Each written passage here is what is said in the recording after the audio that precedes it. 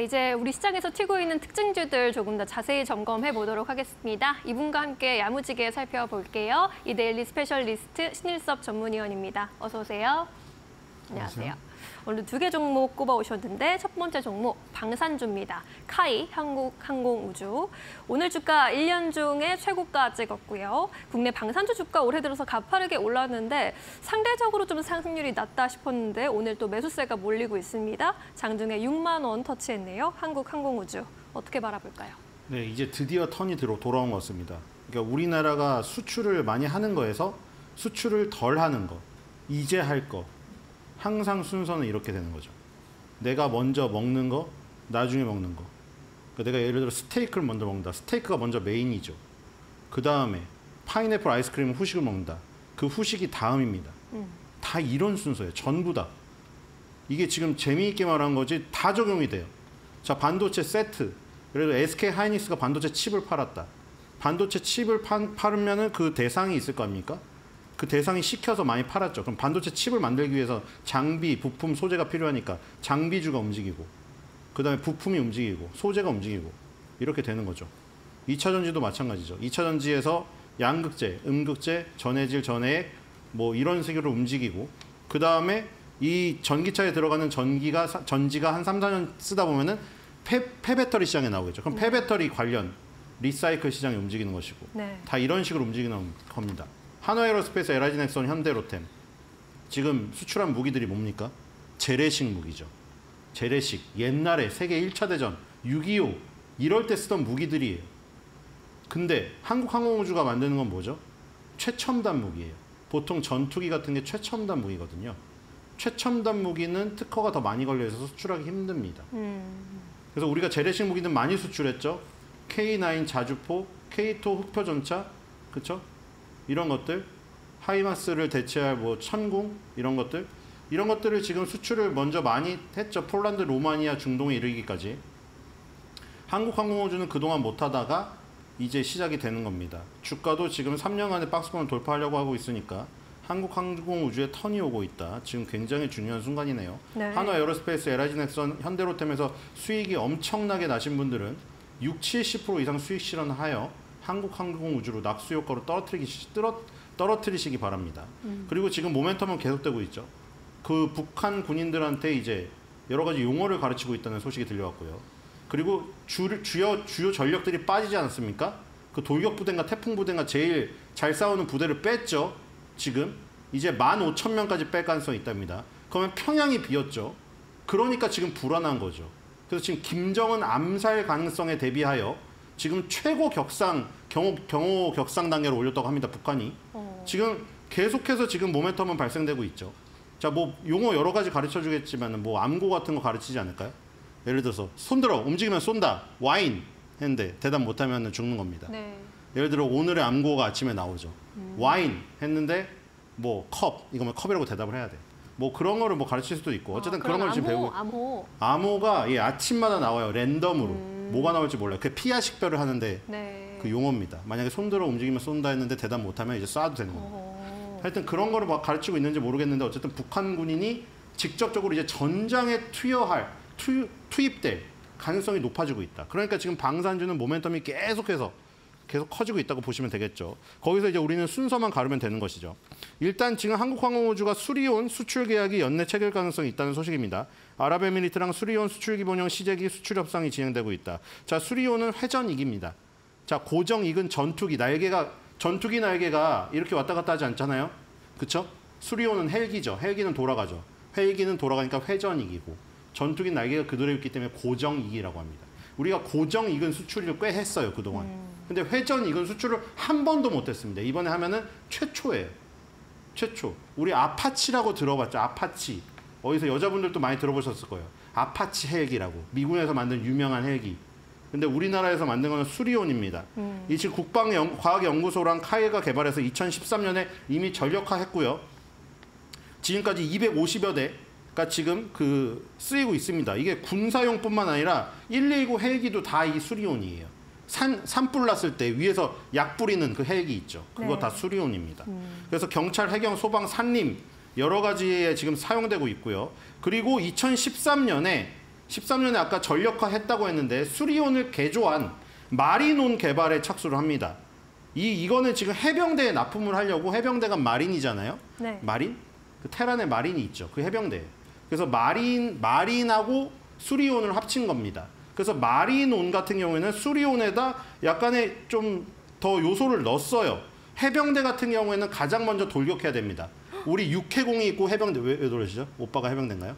아니요, 그냥 육해공. 해병대가 네. 있잖아요. 해병대는 특수부대라 전투를 할 때 맨 처음 돌격해서 적진에 침투를 하는 겁니다. 어, 그, 그러니까 그때 이용할 수 있는 기능들을 수리온에다가 붙여서 마린온을 만든 것이죠. 예. 해병대는 그래서 상륙 기동 헬기라고 부릅니다.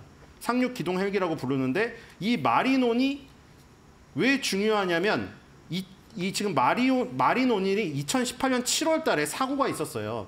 이번에 또 그 이번에 몇 주기인가요? 6주기인가 7주기가 있었는데 또 그 아들을 잃으신 어머님들이 눈물을 흘리시는 거 보니까 저도 눈 아프더라고요, 마음이. 네. 2018년 7월 달에 해병대 상륙 기동 헬기 그러니까 마린온이죠. 이게 사, 이게 추락을 하면서 불과 3층 높이였어요. 뜨자마자 5초 만에 떨어져서 다 폭발했거든요. 다섯 분이 사망하시고 한 분이 겨우 살아남으셔가지고 대수술을 거쳐서 겨우 목숨만은 건졌습니다. 근데 이게 왜 나왔느냐? 2016년에 필리핀에 수출을 할 기회가 있었습니다. 수리온을.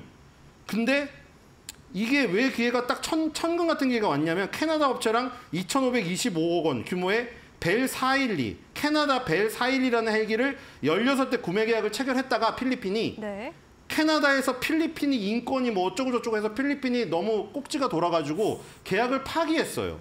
그래서 이 지금 수리온을 수출하려고 시도를 했는데 하필이면 2018년 7월 달에 이 사고가 난 거예요. 근데 아까 마린온이 아. 수리온을 개조해서 해병대용으로 만들어서 28대를 납품할 계획으로 그 당시에 두 대를 납품했다가 한 대가 이 사고를 내- 낸 거예요. 아, 그래서 필리핀이 이거를 보고 수리온이 마린 어차피 마린온이 수리온 개조한 거니까 이것 때문에 어그러졌습니다. 물론 결, 결론적으로는 더 큰 게 있었죠. 여기서 미국이 항상 미국이 우리나라 우방인 것 같고 막 뭐 오바마가 오고 막 바이든이 와서 함께 갑시다 이러잖아요. 우군인 것 같죠? 아니요, 절대 저길 따진다 실리를. 이번에 웨스팅하우스도 보세요. 체코 원전 수출했더니 웨스팅하우스가 자기 거라고 계속 우기잖아요. 미국 우선주의잖아요. 그쵸? 여기도 마찬가지거든요.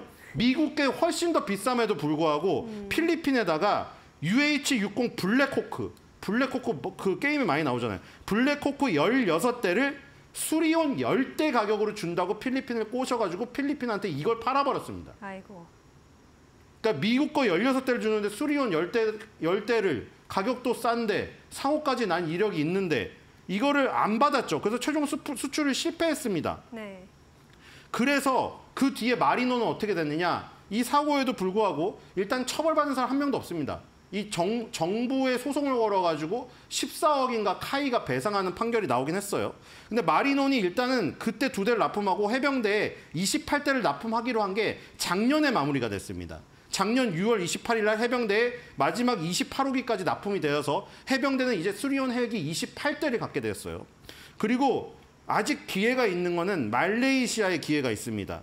말레이시아에 작년 5월에 미국 시코르스 기사 바로 록히드 마틴의 자회사입니다. 근데 아까 전에 말했던 그 필리핀의 수리온 열 대 가격으로 UH-60 블랙호크 16대 그게 바로 시코르스키사 거거든요. 록히, 록히드 마틴 거 똑같은 거예요.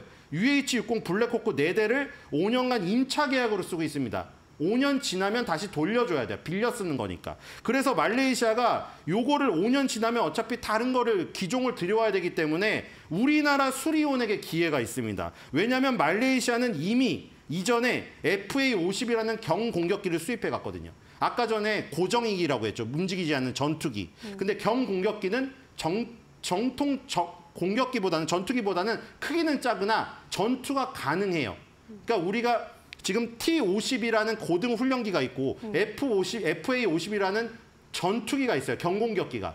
이 지금 한국 항공우주의 주력 아이템이 네. T-50은 고등 훈련기라고 해서 무기가 발사가 안 됩니다. 정말 훈련 훈련만 하는 거예요. 훈련만 시뮬레이션. 근데 TA-50 같은 경우는 경공 FA-50 같은 경우는 경공격기이기 때문에 가볍고 조금 작기만 하지 공격이 가능합니다. 그래서 폴란드나 루마니아 같은 러시아가 러시아 위협이 되는 나라들이 보통 들여오고 있어요. 그래서 이 지금 말레이시아가 이미 가져갔고요. 인도네시아, 이라크, 필리핀, 태국, 폴란드, 말레이시아 이렇게 여섯 개국에 이미 FA 50 수출에 성공했습니다.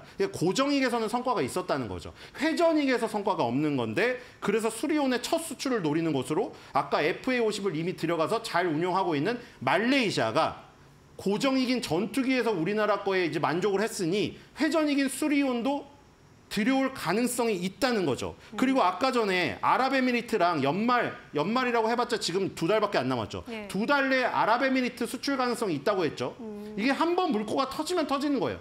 한 번 물꼬가 터져서 만약에 아랍에미리트랑 지금 언론에 나온 대로 1조 7천억 원 규모의 중동 수리온 수출 계약에 성공한다.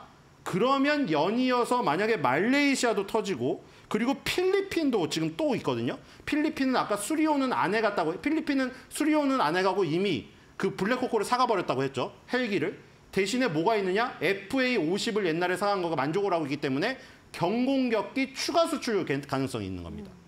그러니까 필리핀의 FA 50 경공격기 추가 수출 가능성이고 그리고 회전익에서 수리온이 지금 아랍에미리트랑 말레이시아까지 연말에서 내년 초까지 연이어 터질 가능성이 있다. 그러니까 이제 여기 항공도 육해 공중에 육군이 처음에 많이 터졌어요. 지금 자주포, 네. 전차, 포탄 이쪽으로. 이제 해군의 잠수함, 공군의 전투기, 경공격기, 수리용 같은 회전익 요런 것들이 이제 수출할 수출 우리가 육해공이라고 부르는 이유가 있잖아요. 그래서 여기도 지금 똑같아요. 육군에 집중된 하나에어로스페이스, 넥슨, 현대로템, 그 다음에 포탄을 만드는 풍산 네. 이렇게 갔다가 점점 해군, 공군으로 갈 가능성이 있는 거죠. 해군은 옛날에 대우조선해양 구단 만- 만들던 회사 하나로 가서 한화오션 그리고 공군은 한국항공우주. 그러니까 육군에서 수익이 많이 나신 분은 해군, 공군, 해병대 이쪽으로 옮겨가시면 됩니다 지금. 네. 알겠습니다. 이제 연말부터 더 강해지는 이제 수리온의 수출 실적으로 주가도 turnaround 할 수 있을지 함께 지켜보시면 좋겠습니다. 두 번째 종목 툴젠 보겠습니다. 오랜만에 또 제약바이오 보는 것 같은데 유전자 치료제 개발사입니다. 이 3대, 3세대 유전자 가위 CRISPR의 글로벌 특허 소송에서 유리한 입지에 올라섰다. 이러한 소식도 들려오고 있네요. 툴젠 어떻게 보시고 네, 계십니까? 근데 바이오는 매일 하나 하지 않았나요? 최근에 좀 안 했잖아요. 저번에 한 시간인가 빼먹었을 거예요 아마. 바이오는 거의 매일 그랬어요? 있습니다. 네. 자 일단 툴젠 일단 2012년 6월 달에 오가노 사이언스라는 회사랑 오가노이드 기반 치료제 개발을 위한 전략적 업무 협약을 맺었거든요. 이게 12년도니까 지금 2024년이죠 지금 12년 전입니다. 그리고 12년 후에 2024년 10월 16일 지금 이번 달이죠. 오가노 오가노이드 사이언스랑 유전자 가위 유전자 가위 CRISPR 케이스 Cas9 특허 기술 이전 계약을 체결했습니다. 자, 우리나라의 다른 회사들 지금 예를 들어 바이오다인이라던가 아니면 펩트론에서 나온 것들을 계약을 보세요. 알테오젠은 리- 알테오젠 리가켐 바이오처럼 최종 기술 수출을 한 게 아니고 그쵸? 펩트론은 베링거 인겔하임하고 같이 공동 연구 개발 그리고 바이오다인은 로슈랑 특허 이전 계약이에요.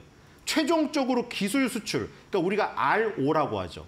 LO 이 그저 아, L license out이라고 하죠. 그 들여온 사람은 license in이니까 LI라고 하고요. 그러니까 LO를 한 게 아니라 지금 펩트론하고 바이오다인은 그전 단계인 거예요. 바로 툴젠이 2012년에 맺었던 이 계약이 전략적 업무 협약, 오, 오가노이드 기반 치료제 개발 위한 전략적 업무 협약이었고 10년 동안 같이 이렇게 협약을 한 가운데 연구를 하고 뭐 이렇게 하다 보니까 이 지금 툴젠에 개발된 이 유전자 가위 기술이 기술 수입을 해야 될 정도로 궤도에 올라왔다고 판단을 했는지 기술 이전 계약을 맺은 겁니다. 근데 오가노이드 사이언스의 organoid의 뜻이 뭡니까? organ, organ, 장기가 organ입니다. 그리고 oid가 유사한이에요. 요걸 합치면 organoid에서 장기란 유사한입니다. 그러니까 장기란 유사, 장기랑 유사한 어떤 유사 장기체를 만드는 회사여서 오가노이드 사이언스라는 것이죠. 네. 근데 툴젠은 기술은 뭐죠? 유전자 가위. 그러니까 우리가 질병을 일으킬 수 있는 유전자를 갖고 있는 사람에게 처음부터 유전자를 그 유전자를 잘라버리는 거죠. 그러니까 예를 들어 내가 뭐 건너뛰어서 할아버지가 암에 걸리신 이력이 있거- 있거나 치명적 질병에 걸리신 이력이 있으면 유전이 될 확률이 있잖아요. 그 유전자를 가위로 애초에 태아에서 잘라버리는 겁니다. 네. 그러면 이제 오가노이드 사이언스의 이 장기 유사체를 만드는 거랑 결합하면 그 특정 질병에 걸릴 유전자가 제거된 유사 장기체를 만들 수가 있겠죠. 그래서 오가노디 사이, 오가노이드 사이언스가 자신의 능력하고 시너지가 날 수가 있기 때문에 유전자 가위 기술, 아까 CRISPR Cas 9을 기술 이전해 간 겁니다. 네. 그래서 아까 전에 이 유사 장기를 어디다 쓰느냐? 우리가 동, 전임상이라고 하죠. 비임상이라고 하기도 하고 전임상이라고도 하- 하기도 합니다. 임상 1상, 2상, 3상. 사람을 대상으로 하는 임상 실험을 하기 전에 동물을 대상으로 먼저 해보죠. 패럿을 사용하기도 하고요. 침팬지를 사용하기도 하고요. 그쵸? 뭐 몽키를 사용하기도 합니다. 근데 이게 동물 애호가들 사이에서는 굉장히 반대를, 합니, 반대를 하는 게 큽니다. 동물 저거 학대한다. 동물이라고 마구잡이로 약을 넣어가지고 괴로움 속에 죽어가게 한다고. 그 논란까지 피해갈 수 있는 겁니다. 사람의 장기와 거의 유사한 유사 장기체를 만들어서 네. 그걸로 동물 대신에 전임상을 하는 겁니다. 그럼 그런 논란에서도 벗어날 수 있겠죠. 어쨌든 유사 장기체를 만드는 회사한테 CRISPR Cas 9을 팔았다. 근데 CRISPR Cas 9은 유전자 가위 기술 중에서 3세대입니다. 발전해 왔던 것이죠. 1세대 같은 경우는 이름이 zinc finger고요. 2세대의 이름은 TALEN입니다. 3세대 유전자 가위 기술이 CRISPR Cas 9이에요. 그래서 요걸로 지금 진행하고 있는 것들이 있는데 아까 전에 아까 전에 지금 그 말했던 그 오가노이드 사이언스랑 개발하는 거랑 다 또 따로 툴젠이 호주 세포 치료제 기업 카, Cartherics Cartherics랑 CAR-T 세포 치료제를 개발하고 있습니다. CAR-T가 자기의 세포를 꺼내가지고 유전자를 조작해서 다시 넣어주는 거잖아요. 거기에 유전자 가위가 필요한 겁니다. 네. 유전자를 꺼내서 필요 없는 유전자를 자른 다음에 정상적인 유전자를 만들어서 다시 넣어주는 거죠. 그래서 CAR-T 세포 치료제 혹은 CAR NK 세포 치료제. CAR에 대한 설명은 지난번에 한 것 같아요. 네. 그래서 여기에서 제일 앞서 나가는 파이프라인이 CTH004, CTH401이 있습니다. 그래서 요게 둘 다 난소암 적응증이거든요. 그래서 요 CAR-T 세포 치료제를 만드는 데 있어서도 툴젠의 세포 가위 유전 유전자 가위 기술이 쓰이고 있다. 그래서 이 유전자 가위 기술이 앞으로 굉장히 다양한 면에서 치료 그 저기 쓰여질 가능성이 높고 툴젠이 이제 기술 이전을 한 대가로 받을 마일스톤이 조금씩 꽂힐 확률이 높아지고 있다. 아까 지금 CTH004가 이제 임상 1상을 진행하려고 하거든요. 네. 그러니까 이 진행이 되면 마일스톤을 받게 되겠죠. 그래서 이런 것들 그동안 꿈으로만 생각되던 것들이 이제 마일스톤 현실로 받아들이는 수학의 계절이 다가오고 있다. 이렇게 보시면 될 것 같습니다. 네, 이제 유전자 가위로 필요 없는 유전자 잘라낼 수 있는 시대가 왔습니다. 그 핵심에 서 있는 툴젠 함께 살펴봤습니다. 오늘 말씀 여기까지 듣겠습니다. 고맙습니다.